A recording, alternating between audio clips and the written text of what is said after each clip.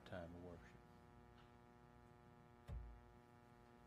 Take your Bibles this morning and turn to Matthew chapter 13.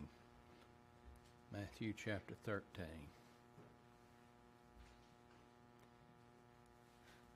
I actually, my intentions when I began the week of preparation uh, to preach, I actually wrote uh, over two thirds of the message on Galatians. So I got a head start. If I ever do go back to Galatians 3, I got a pretty good start on the message.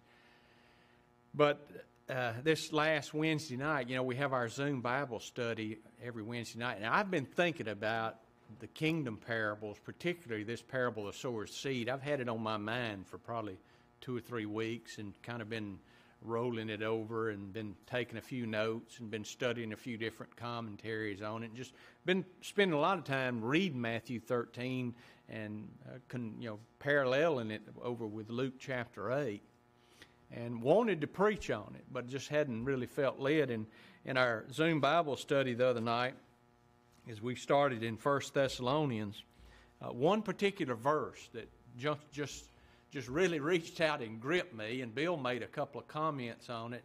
And I, after we got done that night, I went to bed thinking about because of what was said in that particular verse that we read.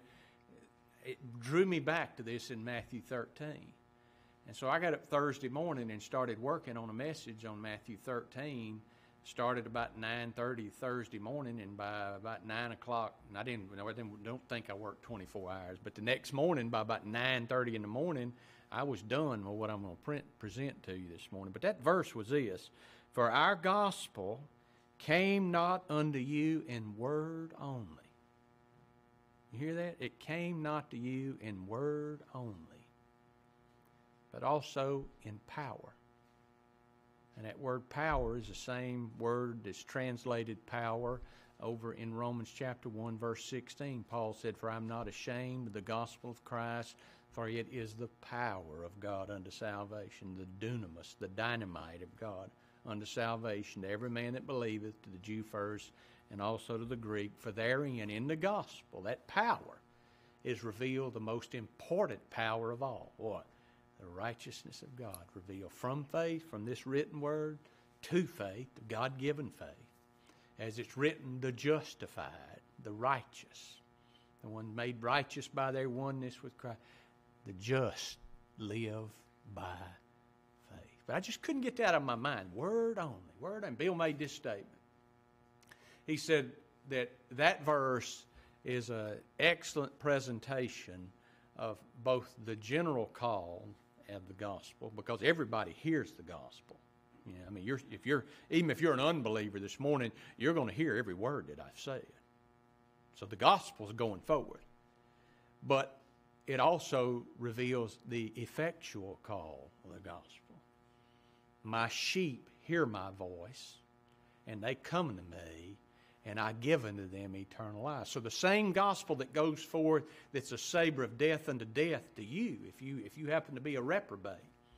You sit here and die in unbelief and you refuse to rest in Christ as the Lord your right. That same gospel that you've heard with your ear, it's the power of God unto salvation to all God's elect. Same message, same gospel.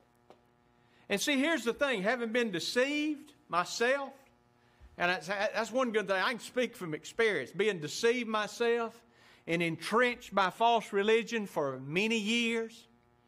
And knowing when I was entrenched in false religion and deceived by false religion, knowing what I thought in my lost estate of my profession of faith, and I did make a profession of faith, and I had an experience.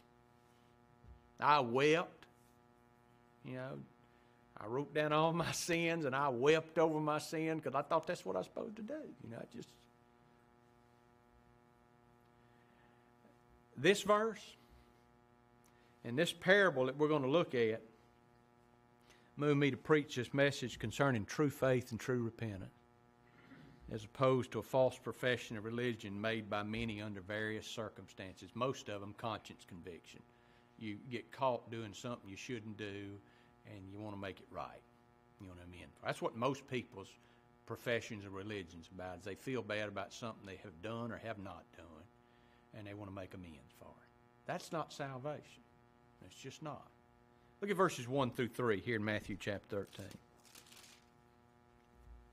It says, In the same day went Jesus out of the house and sat by the seaside. This didn't happen by accident. if you go back, he had spent the previous day preaching the gospel traveling. I, it wasn't like me getting in my car over Wedgwood and driving over here. He, he walked great distances to preach the gospel and labored in preaching the gospel and dealt with men and women's situation and problems. But yet the next day, what does he do? The same day, he went Jesus out of the house and sat by the seaside, and great multitudes gathered together unto him. So that he went into a ship and sat, and the whole multitude, a multitude means a bunch Huh? That's what it means. A lot of folks. They standing on the seashore, on the shore, shore of the sea. And notice verse 3 And he spake many things unto them in parables. Spake many things unto them in parables. And here's the thing that I got this week in studying for this. Here's our Lord, and here's this great multitude of folks that's come out to hear him. So much so that he, in order for them to be able to see him, he gets on a boat there on the shore where he can speak. I, yeah, it, it must have been amazing to hear our Lord speak. I mean, it, we're talking about the eternal Word of God speaking. And yet, here's this great multitude of people, and the only way he speaks to these multitudes that are sitting there listening to him, speaks to them in parables. Matter of fact, eight parables. Count them for yourself, Matthew chapter 13. Eight parables. They're called the kingdom parables. Verse 34 this same chapter says this All these things spake Jesus unto the multitude in parables, and without a parable spake he not unto them. In other words, everything our Lord said to this vast multitude of men and women that have come out there to hear him, Kenny, it's always in a parable. What, what's a parable? Well, a, a, parable, simply put, the definition of it is, according to Strong, it's an earthly story with a heavenly meaning. Basically, it was a parable that our Lord spoke to Nicodemus. Yeah. And Nicodemus got hung up on the earthly part of it. And so our Lord is speaking earthly stories to teach heavenly principles. And it brought this question to my mind. I, I, and I, this is not in my notes, but I tell you what, the Lord Jesus Christ would have flunked out of Lynchburg, Virginia, in Jerry Falwell's School of Evangel- Evangelism. he wouldn't have been evangelic enough. But this is the question that popped into my mind when I read that that he, he spoke to this multitude in parables and he didn't speak to them any other way than parables. It's a sweet little loving Jesus. This is the one that you see everybody in the football field with John 3.16 under their eyelids or John 3.16 behind the goal post, you know, or the, go to the, the, camera after the game. I, I thank the Lord for giving me the ability to run the ball or throw the ball or tackle the ball or do this or that or another. I want to give God all the glory. Nothing about Christ, nothing about right. That, that ain't how we witness. That's practicing your religion before men. But here's the thing if Christ's desire, the Lord Jesus Christ, his desire, and his design was for all men and women without exception to be saved, if they had believed and accept him as their personal Lord and Savior, why speak in parables?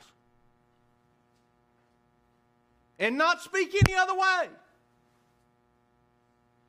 Why not speak with great plainness of speech and openness? And in simple language. Why not do that? Why not talk like they talked it to me as a child? Will you accept Jesus as your personal Lord and Savior? Why didn't he use that kind of language? Won't you come to me and let me save you? Why, why, wouldn't that be a lot easier? If, if that's his goal to just get them in the kingdom, why not speak that way? You know, even Christ's disciples, both here and over in Luke, they asked the same question. Why speak to them? Why do you speak to them in parables? They were perplexed. And I our Lord Jesus Christ, He did not hesitate to give them an answer. He answered and said unto them, Because it is given unto you to know the mysteries of the kingdom of heaven. But to them, now there's a multitude, but to them it is not given. Let the words of the Lord Jesus Christ sink into your mind with this evangelistic world that we live in. It's given to you to know the mysteries of the kingdom of heaven, but to them it's not given.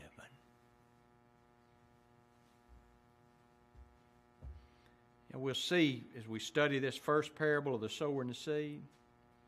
Thankfully, our Lord Jesus Christ, He interpreted and explained the meaning of this parable to His disciples. Matter of fact, He told them why they could hear. And He told them why they understood. Listen to our Lord's word. Blessed are your eyes, for they see and your ears, for they hear. Now, isn't that the case with all God's elect in every generation? Blessed are your eyes, for they see, and your ears, for they hear. Listen to our Lord again. It's written in the prophets, Jeremiah, and they shall be all taught of God. How many of them? They shall be all taught of God. All who? All God's elect. All those chosen and given by the Father to the Son in the everlasting covenant of grace. All those that Christ's Son, by his very obedience unto death, his bloody sacrifice, redeemed and justified from all their sin, they, they, they shall all be taught of God.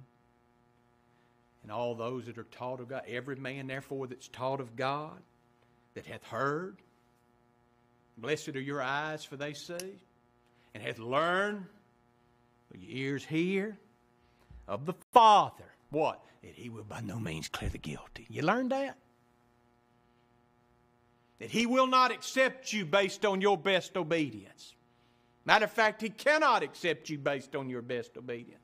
Matter of fact, if God entered into judgment with you or me for what we've done in these few moments of worship together this morning, if He entered into judgment with us based on it, He would damn all of us. Heard of that, Father? What do you do? You come to me. Why? He's our surety, He's our substitute. He's the Lord our righteousness. That's why we flee to Him. Our Lord said on another occasion, He that is of God hears God's word. You therefore hear them not, for you're not of God. And that of God means to be born of God. He that's of God, born of God, regenerated, converted by God, justified by God, sanctified by God, glorified by God. That's to be of God. We hear His word. Don't debate and argue about it, worry about it, concern ourselves about it. We just trust Him, believe Him, ask Him for wisdom and guidance in it. So then, faith, Paul wrote in Romans chapter 10, verse 7, comes by how? By hearing. By, by going into this audible ear. And hearing, this ability to be able to discern these spiritual truths, is by the Word of God by the Logos of God, the eternal Word of God. Now let's read this parable of the sower and the seed. And, and then we'll look at Christ's interpretation. Look at verse 3 through 9. It's an interesting parable. I mean, it, it really is. He said unto them, uh, excuse me, it's wrong, wrong page. Uh, verse 3, the end of verse 3 Behold, a sower went forth to sow. And when he sowed, some seed fell by the wayside, and the fowls came and devoured them up. Some fell upon stony places where they had not much earth, and forthwith they sprang up because they had no deepness of earth. And when the sun was up, they were scorched, because they had no root, they withered away. And some fell among thorns, and the thorns sprung up and choked them, and others fell into good ground and brought forth fruit, some an hundredfold, some sixtyfold, some thirtyfold. Who hath ears to hear, let him hear. And I tell you, I can remember in my lost state, I did preach on this one time when I was lost. You know where all the emphasis was on? Verse 8. The end of it. The fruit. I can remember making this stupid statement. There were everybody, there were a hundredfold fruit, sixtyfold fruit, thirtyfold fruit, but there's no no fruit. and my point was, I can remember the point. you don't produce no fruit, you don't know God. But we would never define the fruit.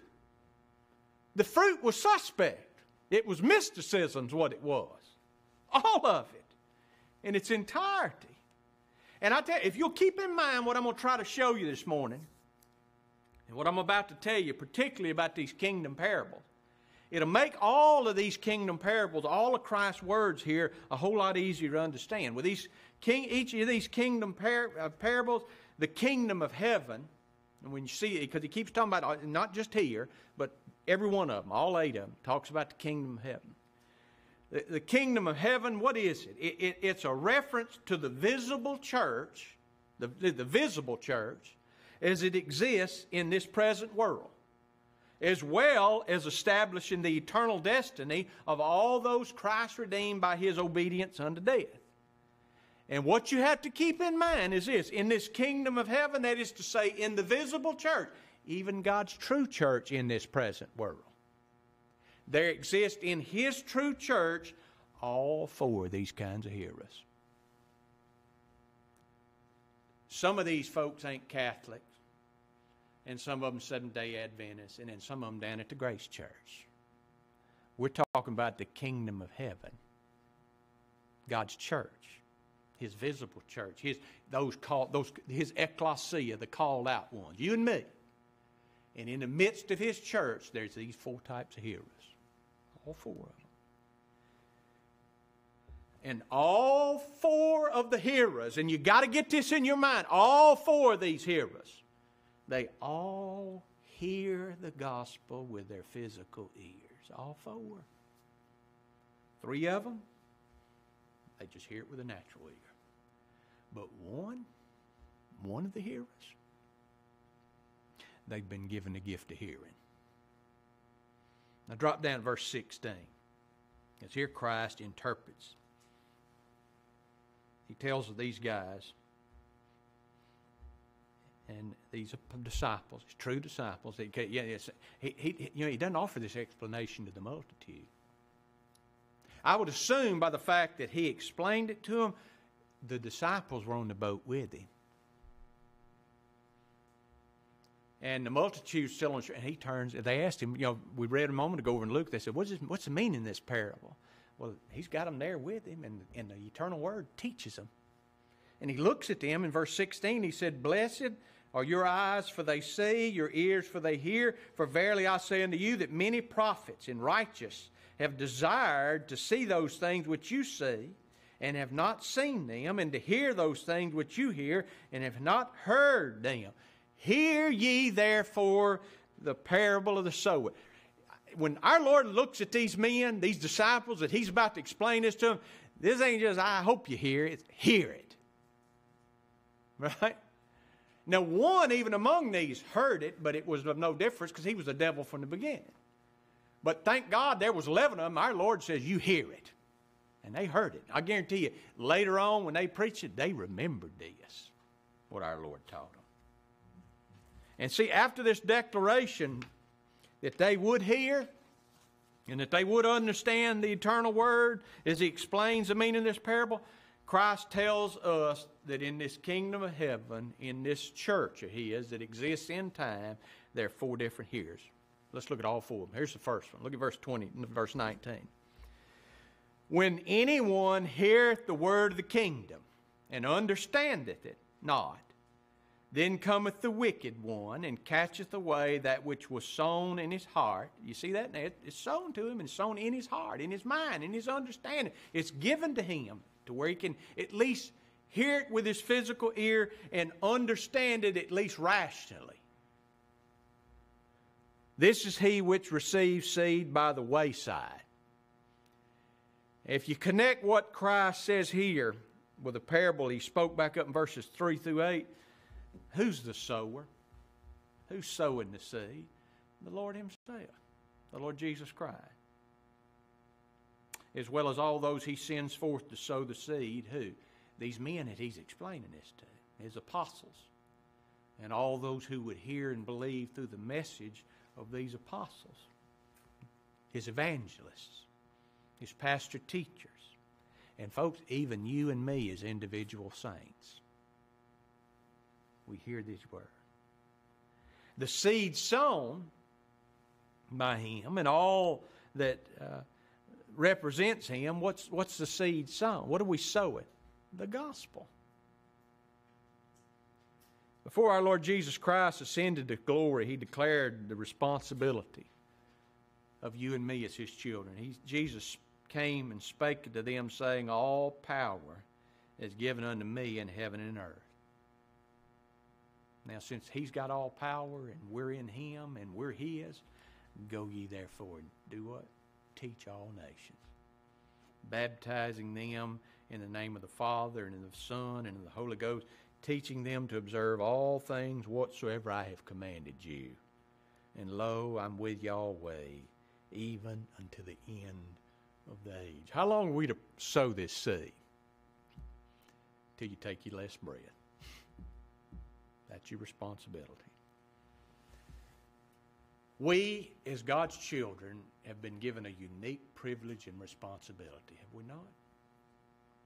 We get the unique privilege and responsibility to preach God's gospel indiscriminately to every individual who He, by His providence, brings into our, under our hearing. I, I count it such a joy to be able to stand up every Sunday and I don't, I don't know the condition everybody's heart in this church. I don't know the condition everybody listens to us. I certainly don't know with as many people that we have listening out there who has heard and who has not. But that's not for me to try to figure out. What's God called us to do? Preach the gospel, be instant in season and out of season. Those who we preach to or share the gospel with, our Lord says of them here, those that they hear the word of the kingdom. They hear the gospel message. But he says here they only hear it with what ear? The natural ear. The key here is this they understandeth it not. They understandeth it not. That word understandeth means to set or bring together. Kind of like putting a puzzle together. You ever tried to put a puzzle together and there'd be one piece missing out of the box? And you, you, you try to put every puzzle piece, you try to put the wrong piece in to fill the hole. You know, they can't they can't figure out the puzzle. Or the better translation is this: to put, as it were, the perception with the thing perceived. To put with the perception the thing that's perceived. In other words, they hear the gospel with the physical ear. They take all the information into their physical mind but because they're still dead in trespasses and sin, they cannot and they will not see the life and death issues of sin, righteousness, and judgment to come. But tragically, notice what happens to those who have no understanding. Then cometh the wicked one, and catcheth away that which was sown in his heart. This is he which receives seed by the wayside. What happens to them? The wicked one catcheth away the seed. The question then is this what does he catch away? Huh? What does he catch away? It can't be the grace of God. Because i tell you this much if the grace of God's sown in a man or woman's heart, how long is it there for? It can't be lost. All that the Father, this is how secure we are about if, if a man has received the grace of God, been given the grace of God, had it bestowed upon him, Our Lord said this All that the Father giveth me shall come to me, and him that cometh unto me, what? I will in no wise cast out. He said, My sheep hear my voice. I know them, I love them, and they follow me, and I give unto them eternal life. And listen to this they shall never perish, neither shall any. I mean, he catches away. The devil comes and he catches away the seed. Neither shall any pluck them out of my hand. What the wicked catcheth away is the word of truth from their memory. Takes it away. The wicked one catches away the truth of the gospel from their understanding in such a way that they're not even aware of it. You know, in the past, when I thought about passages like this, I thought that these folks that went away, you know what I thought they always turned into? They turned they were like the way of Cain. You know, we, we always make the wrong assumptions. We we think Cain was this evil, wicked dude. He wasn't. Was he? He was a religious man. He went to sacrifice with God. He was a murdering thief, what he was, but he still went to sacrifice to God. But I used to assume that these are just, when they go away, I meant that they, I, I used to think they left the church and just they went and got drunk and slept around on their spouse and became homosexuals and everything, ungodly and immoral. You know, it's, it's not the case. Because remember what we're talking about? We're talking about the kingdom of heaven. We're talking about the visible church. Doesn't mean they go out where they stay. They stay. They stay right there inside the visible church. But here's the thing everything that they do, even their worship, being here, sitting in a church, even though that the, the word, the, the, the, truth of the gospel, the freedom and liberty in Christ, the eternal salvation that, that they do not possess, everything that they do, the songs that they sing, the prayers that they pray, the scripture that they read, the morality that they produce, what is it? It's dead works and fruit unto death. It's more ungodly and more offensive to the true and living God than the sins that they're actually seeking to avoid. Go let them tell you that down at another church. Well, not another church, another first false place. They're not going to tell you that. Oh, he's, he or she, they're trying so hard. They're good people. Even though the scripture says there's none good, no, not one. Might be good by my standard, your standard, not good by his standard. It's not by works of righteousness which we've done.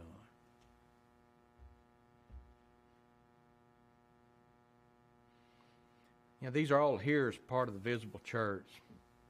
So they can and they often do continue in religion, but, but everything they do, they do it without an understanding of Christ. As the Lord, they're right. And our Lord says that these are those that are like the seed that falls by the wayside. In other words, the true gospel of God's grace has as much effect on these seed, these people, as the seeds that fall by the wayside, and that word wayside means by the beaten path.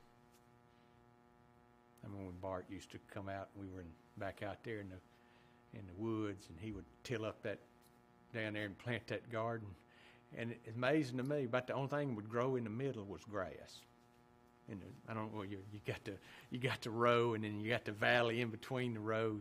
The only thing growing there in grass. It, it's you know, we walked up and down through it, pulling weeds. It's trampled down. Nothing would grow there.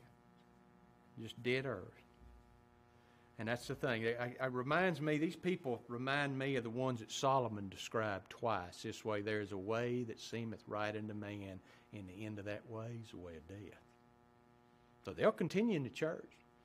They'll sit there, and they, I mean, I, the best thing that could be is that they continue to sit there if the Lord would be merciful to them. But here's the second here. Look at verse 20 and 21. Uh, he that received the seed into stony places, the same as he that heareth the word, and anon with joy receiveth it. Yet hath he not root in himself, but endureth for a while. For when tribulation or persecution ariseth because of the word, by and by he's offended. As with all the hearers, what the truth of the gospel is declared in this stony ground hearer's ears. But unlike the wayside hearer, this one, what does he do? He hears the word in anon. And that word anon, you know what it means? It means immediately or straightway. With joy, what do they receive? They receive the word. They receive the word. In other words, they claim, they claim they believe the gospel of God's grace. They, they claim they've been justified by Christ's blood and righteousness alone. And they even continue under a true gospel ministry for a long time, most of them. But here's the problem with them. He said it, not me. Yet hath he not root in himself. That word translated root, it means the offspring or descendant of a person. Hear that? The offspring or the descendant of a person. What are God's elect? Who's our father?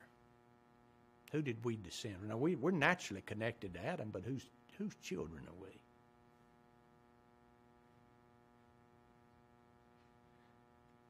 Folks, the gospel and Christ declared by that gospel to these people are the life or death issue. They're not in Christ, and Christ and His truth's not in Him, in them. The grace of God's not in them. And the problem is this. Well, notice what happened. They endure, endureth for a while, for when tribulation and persecution ariseth because of the word, by and by he or she's offended. Here's the problem. When the heat of the persecution over the gospel comes, and tribulation heads their way over the gospel, because and here's how it comes because of the word. And that word word there, hard to say that. that. That word translated word, you know what it is? In the beginning was the Word. And the Word was God. Right? So what are we talking about? We're talking about the essential Word of God. Even our Lord Jesus Christ. And they're offended because of the Word. Because of the Lord Jesus Christ It says, by and by he has offended. That word is offended means to put a stumbling block or impediment in the way upon which another will trip and fall. What do they do? They stumble at the stumbling stone. What's the stumbling stone? Christ alone. His blood, His righteousness alone is the only hope and cause of salvation. And see, I know that because God's Word tells us that that's the case. The Apostle John wrote uh, these type of hearers. They went out from us to make manifest that they were not part of us.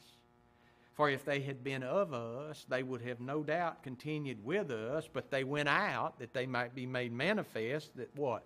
They might be revealed they were not part of us. He wrote in 2 John verse 9, Whosoever transgresseth and abideth not in the doctrine of Christ hath not God.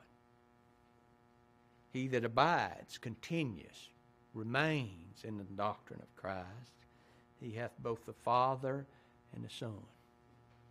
Now, they might continue in the visible church, but they will not and they cannot continue and abide in the truth the way our Lord Jesus Christ described his disciples abide. As he spoke these words to those that believed on him, many that had believed on him, then said Jesus to those Jews which believed on him, If you continue in my word, you abide in my word, my doctrine, my truth, you're my disciples indeed. And you'll know the truth. And what does the truth do? It sets you free. Notice the next here is verse 22. He that receives seed among the thorns is he that heareth the word, the cares of this world, and the deceitfulness of riches choke the word, and he becomes unfruitful. This group of hearers are not openly profane men and women. They're not ungodly men and women. They're not ungodly sinners. They're not those that are unconcerned about the things of religion. These aren't men and women who persecute those who are religious. In fact, these heroes that he's writing of here and speaking of, they show not only a love for the word, but appear to have their hearts been broken by the hearing of the gospel, and their consciences made tender because of the gospel, even reforming their lives outwardly. Outwardly, they appear to be those who receive the word of truth in good ground, and by the Holy Spirit, He's plowed the thorns underground. But in spite of all this, what happened?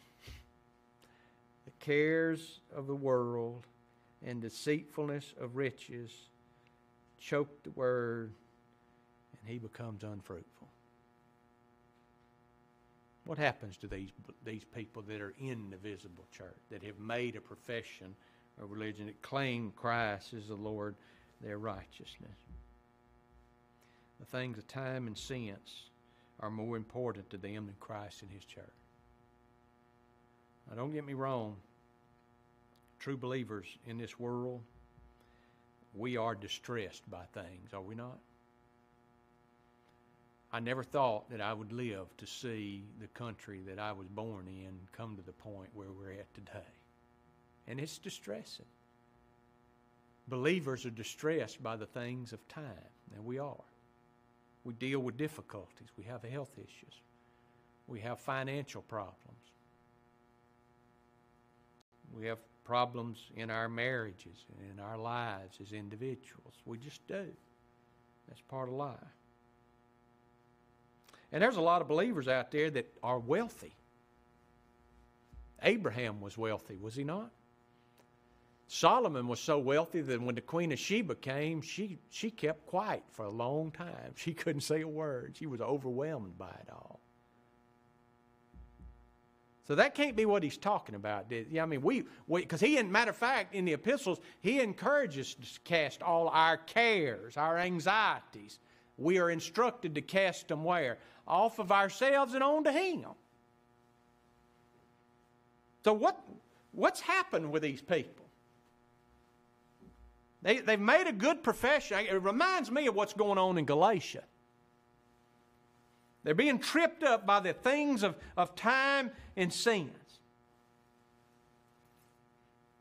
So the issue isn't merely just concern or wealth, but what we see here is that these hearers who only outwardly profess the gospel, the things of time and sense, what does it do? It chokes the word. That word choke means to choke utterly or to press round and throng one so closely as to suffocate him. What does that? Their spouses, their children, their job, their friendship with those that are of the world, their success, their profession. All of it's more important to them, drawing them away from those means which point them to Christ, who is the only true eternal riches. Turn over to Hebrews chapter 11.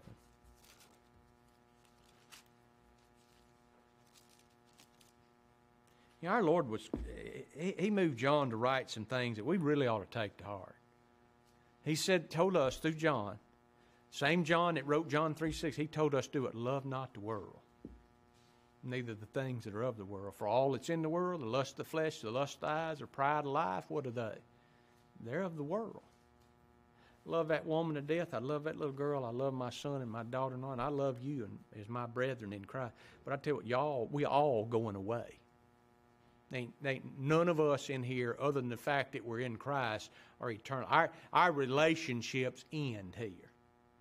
At some point, you know, every one of us here are going to depart this planet unless our Lord Jesus Christ comes back. And yet we, we, we base everything on what we can feel and touch and handle and hold, don't we? And folks, this is the thing. If, if we want true comfort, I, I'm trying to say this to myself because I'm the world's worst about it. The only real comfort we can have is in something that is eternal. Right? Because look, everything in this earth's going to fail you. Friendships fail you. One day, one of you, either, either the husband or wife, you're going to be left alone. It just happens. Thankfully, I can't envision, we, we lose children. We lose our wealth. Believers go to jail. Huh? Sometimes, like Joseph, not even for their own faults, but for God's purpose. Paul and Silas in prison. Right? Notice what it says here in Hebrews chapter 11, verse 13. These all died in faith, not having received the promises, but having seen them afar off, and were persuaded of them, and embraced them, and confessed that they were strangers and pilgrims on the earth. What did they embrace? It was not Jerusalem over there.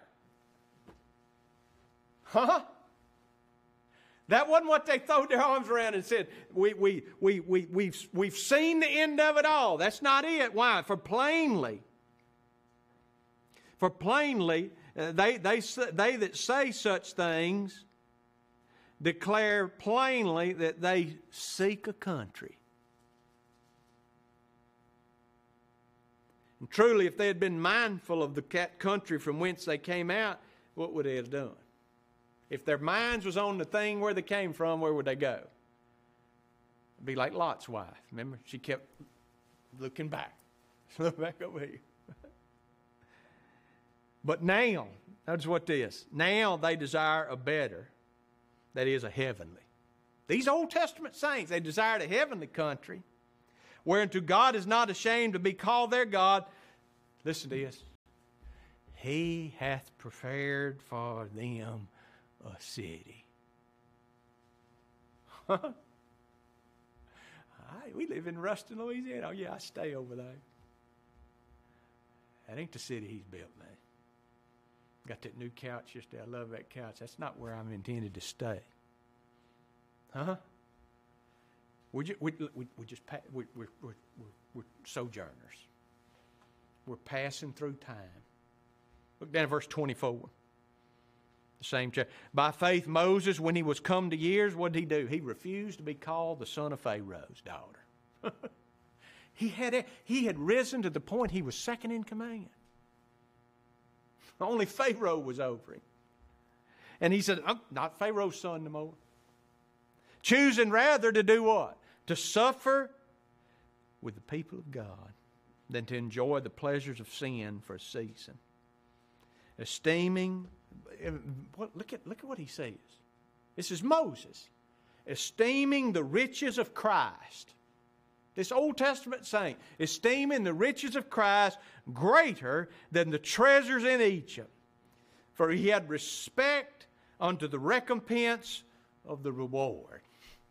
In other words, everything in this world, stack it all on one side and compare it to that which is eternal in Christ Jesus our Lord, our eternal salvation, which side of the scale slams the scale off the scale?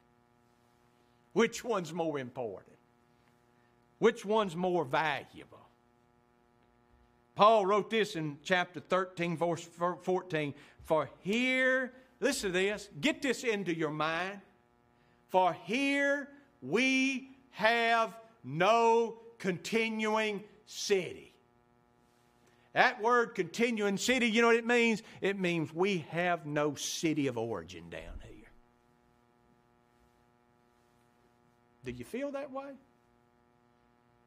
Are you so tied to this earth and everything that it presents in family, friends, wealth, prosperity, your children's prosperity? Everything else goes out the door. Uh, you've forsaken your first love if you're a child of God. And if you're not a child of God, you're one of these thorny ground hearers that's given mental agreement to the truth, but the cares and riches of this world, what's it done? It's choked the word out. And I tell you what, all three of these hearers that we've just read about, they're all gone. In the end, because when he goes down the next parable he talks about, what is it? It's the wheat and tares. And remember, at the end of the story, the parable of the wheat and the tares, when he explains it to them, he said that the, the men came and said, Somebody sowed tares. let us go in there and pull up the tares. He said, No, no, no, no, no. Let them alone. Let them grow up together. Because in the end, who's going to sort them out? Because he said, you, you go, and I, am not trying to pull up tares this morning. Because the thing it is, a tare and a wheat so close, we'll make a mistake. We look, we, we, even as justified saints, we get looking at the wrong things and judging based on a wrong standard. But he, he'll take care of it. He'll pluck them out. And so when it gets to the end, these three here's, these three here's are the ones that's in Matthew chapter 7. Lord, Lord, have we not preached in your name and done many miracles in your name, cast out demons in your name? That, that, that's, that's the ones that are in this visible church. They ain't out there in the bars. That, that, that's not your enemy.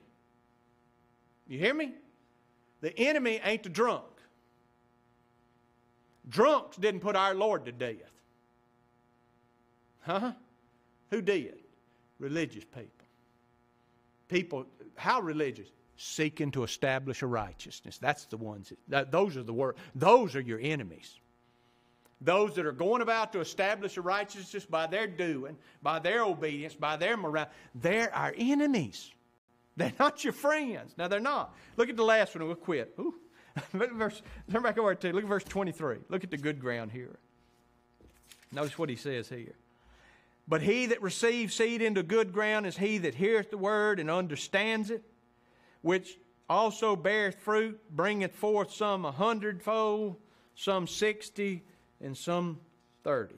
Luke wrote it like this But that on the good ground are they which in an honest and good heart let that sink in. In an honest and good heart, having heard the word, keep it and bring forth fruit with patience. Correct understanding of, of what's meant by the good ground is essential to a correct understanding of what our Lord Jesus Christ is teaching here. Solomon asked the most important question of all. He said this Who can say, I have made my heart clean? I am pure from my sin. Told you for years, and I will continue to harp on it as long as I'm up here as your pastor. Any question that can be answered in the positive or the negative, ask in the scriptures. How is it always answered? Negatively. So, the answer to this question of Solomon, the wise Solomon, who can say, I have made my heart clean? Nobody. Who can say, even you or me, who can say, I am pure from my sin by my doing? Who can answer that? Solomon also declared this For there is not a just man upon the earth that doeth good and sinneth not. And his father, King David, declared this The fool hath said in his heart, No God. They are corrupt, they have done abominable works there is none that doeth good. Interesting thing about that, the Apostle Paul, when he wrote Galatians chapter th- Romans chapter 3 under the inspiration of God the Holy Spirit, he quoted David. As it's written, there is none good, no, not one. Who said it? King David. Not even he himself. And Job asked the ultimate question. Job asked it this way What is man that he should be clean? All right, he which is born of a woman, that she, he should be made righteous. He also said this How then can a man be justified with God, or how can he be clean that is born of a woman? You got to answer those questions? Huh? How can you do that? Here's a question we have to ask, and we have to answer it. Since no man can make his heart clean, we've read that to you from Scripture. And since none possess an honest and good heart, like what our Lord even spoke of over there in Luke chapter 8 by nature, how can any sinner's heart be made good and honest? Able and willing to hear and receive and abide in the truth. How can that happen? Only one way. Only one way. God has to do it. God has to do it. Ran up on this scripture this week. I've always known it. Then will I sprinkle clean water upon you, and you shall be clean. How clean, Lord? From all your filthiness and from all your idols will I cleanse you. A new heart will I give you, and a new spirit will I put within you, and I will take away the stony heart out of your flesh, and I'll give you a heart of flesh. And I'll put my spirit. Who's doing all this? I will put my spirit within you and cause you to walk in my statutes, and you shall keep my judgments, and you shall do them.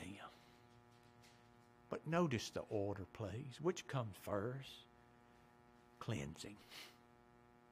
I'll cleanse you. How does He cleanse you? Through Christ's accomplished work of redemption. Then, in time, in regeneration and conversion by God the Holy Spirit, He brings us to faith in Christ through the preaching of God's gospel. Isn't that exactly what our Lord Jesus Christ told Nicodemus? Twice, you have to be born again. Why? You can't see the kingdom, you can't enter the kingdom. These good hearers, these good ground hearers, who are they?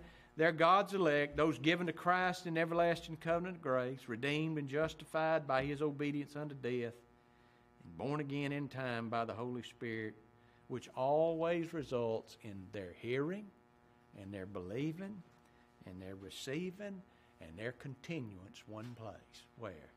In Christ. Paul wrote this Now the just, the justified, shall live by faith. But if any man draw back, my soul shall have no pleasure in him. But thank God, listen, we are not of them that draw back to perdition, but of them that believe to the saving of the soul. Let me close with this this morning. All of these hearers, they all heard the same gospel message. All of them did. The difference is that God Himself, what does He do? He prepares the good ground. Because you can't make it good. You can't make your heart clean, and He does it by His sovereign grace. But here's the other thing not only does He make the ground good, He gives you faith. Gives you and me the gift of faith. Gives us the gift of true repentance. And you know what we do? We rest in Him. I'll close with this. And when the Gentiles heard this, they were glad. And they glorified the word of the Lord and as many as were ordained to eternal life. They believed. How many? As many as. As many as who? Were ordained, foreordained, predestinated, sovereignly chose. They and they alone believed. I tell you, if we have been given the grace of God so that we see and we hear the eternal word, it can truly be said of you and me, Blessed are your eyes, for they see, and your ears, for they hear. We'll stop right there. Let's stand together and be dismissed. Lord bless you, keep you till we see you